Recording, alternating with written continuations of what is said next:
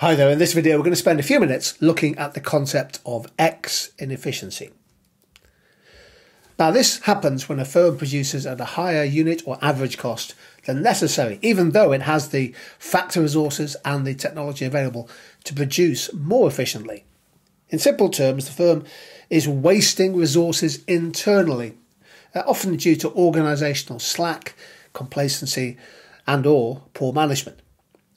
X inefficiency as a concept was introduced by the economist Leibenstein in 1966.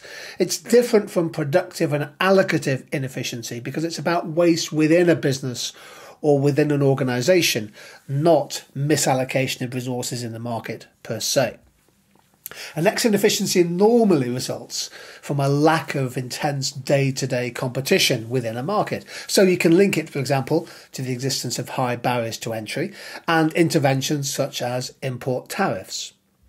So here's the standard monopoly diagram showing the profit maximizing price of P1 and the unit cost of C1 at output Q1. Now with X inefficiency, the cost is higher. Without competition, firms may not necessarily strive to achieve the lowest unit cost uh, associated with a given output. So C2 could be the unit cost with X inefficiency at output Q1 rather than cost C1. And as a result, of course, profits will be lower. So the inputs, the labour, the capital are not being used to full productive potential, and clearly this harms overall efficiency. In the long run, that fall in profit may make a firm vulnerable to disruption from efficient challenger firms. And we often do see the rise of challenger brands, challenger businesses in markets where the perception is that established firms are experiencing X inefficiencies. So challenger businesses come in with new models, uh, particularly with hit and run competition.